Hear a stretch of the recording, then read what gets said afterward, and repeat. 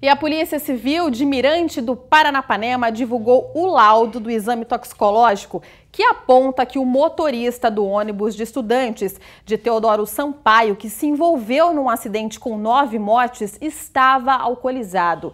De acordo com o resultado, havia presença de 0,7 decigramas de álcool por litro de sangue, o que configura a embriaguez.